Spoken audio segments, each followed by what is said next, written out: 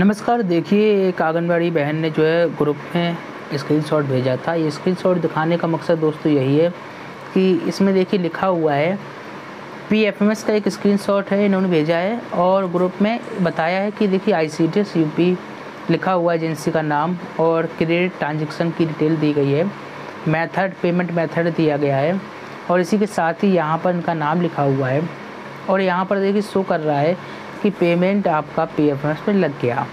ठीक है, अभी आप आगे जाएँगे तो आपका अमाउंट भी शो होगा। ये देखिए अमाउंट शो हो रहा है। तो सिक्सटी फाइव हंड्रेड जो है, यहाँ पर अमाउंट शो हो रहा है। पेमेंट लगा हुआ है, लेकिन आपके अकाउंट में क्रेडिट नहीं हो रहा है। क्रेडिट की क्या वजह है? देखिए, यहाँ पर अभी आपको स्टेटस अब दिखाना चाहेंगे। स्टेटस आप देख रहे हैं, पहले का जो जो सक्सेस दिखाई दे रहा है, देखिए। और यहाँ पैंसठ सौ रुपये जो है वो पेंडिंग दिखाई दे रहा है।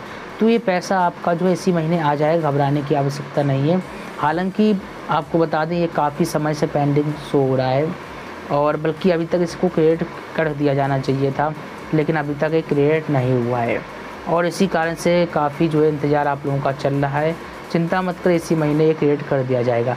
दो नौ दो हज़ार बाईस को यह पैसा आपके अकाउंट में लग चुका था।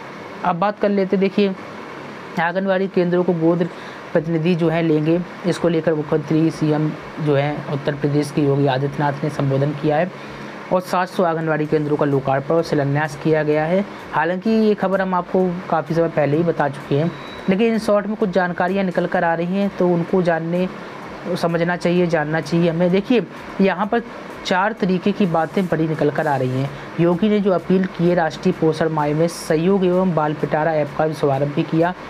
सक्षम पुस्तकाओं में क्या है? सक्षम जो है, ये क्या है? पोषण मैनुअल है, जो आंगनबाड़ी कार्यकर्ताओं की क्षमता बढ़ाने के लिए तैयार की गई है।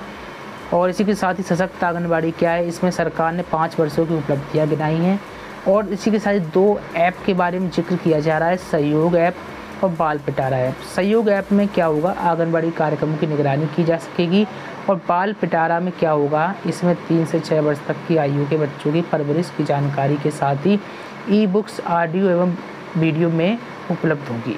तो ये चार बड़ी बातें निकल कर आई हैं। इसी के साथ ही मुख्यमंत्री योगी आदित्यनाथ ने राष्ट्रीय पोषण माह के अवसर पर जो है जनप्रतिनिधियों एवं अधिकारियों से आंगनबाड़ी केंद्र गोद लेने की अपील भी की है और कहा है कि समाज के सक्षम तबके के लोग आंगनबाड़ी केंद्रों को गोद लेकर बुनियादी सुविधाएँ ठीक करवाए। मुख्यमंत्री ने कहा कि प्रदेश में पहले से बहुत अधिक सुधार हुआ है। अभी हम देखिए, प्रदेश के सीएम योगी आदित्यनाथ का एक बयान भी दिखाने जा रहे हैं। उस बयान को देखने के लिए आपको जो है, थोड़ा इंतज़ार करना पड़ेगा।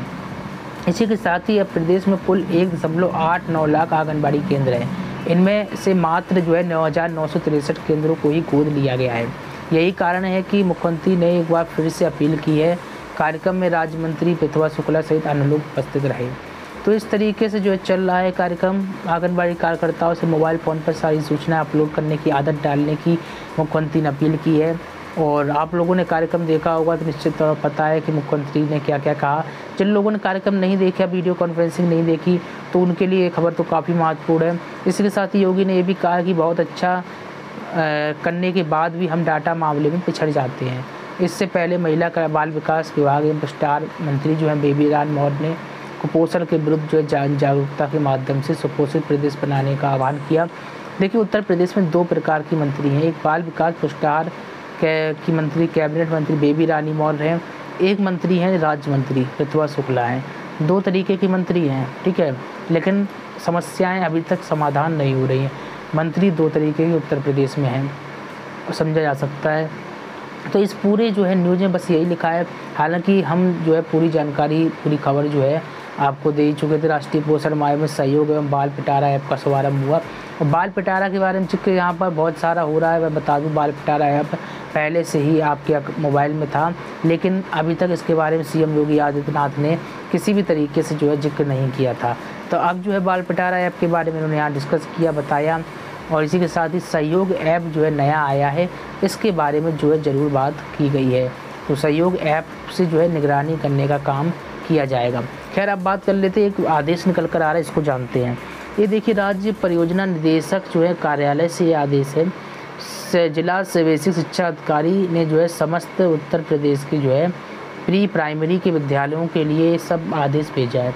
परिषदीय प्राथमिक विद्यालयों में अव्यवस्थित जो है, अवस्थित जो है को लोकेटिव आंगनबाड़ी केंद्रों हेतु बच्चों के प्रयोगार्थक प्रयोगा प्रयोग के लिए जो है एक तरफ़ से फर्नीचर यानी कि शिशु डेस्क क्रय करने के संबंध में। यानी कि अभी जो है, आ ही नहीं है शिशु डेस्क इनको क्रय किया जाएगा, फिर जो है केंद्रों में विद्यालयों में आएँगी।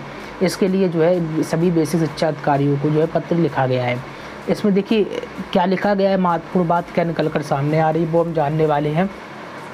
इसमें लिखा है कि राज्य परियोजना कार्यालय के पत्रांक प्री प्राइमरी बटा फर्नीचर बटा बीस सौ चौंतीस बटा दो हज़ार बाईस, तेईस दिनांक चार जुलाई दो हज़ार बाईस का संदर्भ ग्रहण करने की कष्ट करें, जिसके द्वारा परिषदीय विद्यालयों में अब स्थित जो है अब स्थित का मतलब जो स्थित होना है एक तरफ़ से, जो परिषदीय विद्यालयों के नीचे स्थित हैं, आंगनबाड़ी केंद्र, को लोकेटिव, नौरा, नवासी सौ बारह आंगनबाड़ी केंद्र हेतु, बच्चों के प्रयोग हेतु फर्नीचर, यानी कि शिशु डेस्क, शासनादेश संख्या दी गई है, दिनांक 22 जून 2022 के क्रम में जो है 10 फर्नीचर शिशु डेस्क क्रय करने एवं शेष धनराशि से फॉर्म मैट क्रय करने हेतु निर्देशित किया गया है। और राज्य परियोजना कार्यालय के पत्रांक संख्या दी गई है। इसमें इसका संदर्भ ग्रहण करने का कष्ट करे लिखा है। पाँच सितंबर 2022 में जो आदेश जारी हुआ था, उसका भी यहाँ पर ज़िक्र किया गया है। और जिसके द्वारा परिषदीय विद्यालयों में अब स्थित को लोकेटिव बारह हज़ार आठ सौ उन्यासी आंगनबाड़ी केंद्रों हेतु बच्चों के प्रयोगार्थ फर्नीचर, यानी कि शिशु डेस्क शासनादेश इकतीस अगस्त 2022 के क्रम में जो है, शिशु डेस्क क्रय करने एवं शेष से फोम मैट क्रय करने हेतु निर्देशित किया गया है।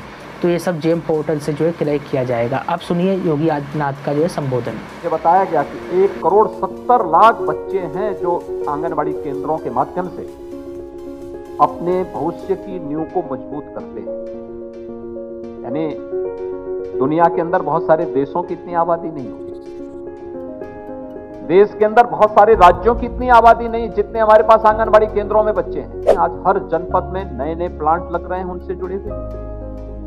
क्वालिटी का, फ़ूड और पोषाहार हर एक स्तर पर पहुँचाने की कार्रवाई को किया जा रहा है। हमने थर्ड पार्टी इसकी मॉनिटरिंग की व्यवस्था भी की है। हम आभारी हैं अपने आदरणीय प्रधानमंत्री जी के, जिनकी प्रेरणा से ये कार्यक्रम एक नेशनल प्रोग्राम का हिस्सा बना। मैं चाहूँगा कि ये पुस्तिका विभाग के मंत्री और विभाग के सचिव हर आंगनबाड़ी केंद्र में इनको ज़रूर पहुँचाने का कार्य करें।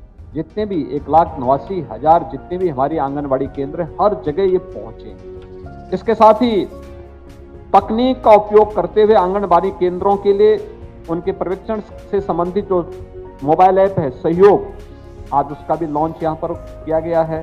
जो मकड़ जाल था, पोषण मिशन के साथ जुड़ा हुआ। उसको विकेंद्रित करते हुए साठ हज़ार से अधिक महिला स्वयंसेवी समूह से जुड़ी हुई बहनों को इसके साथ जोड़ा है।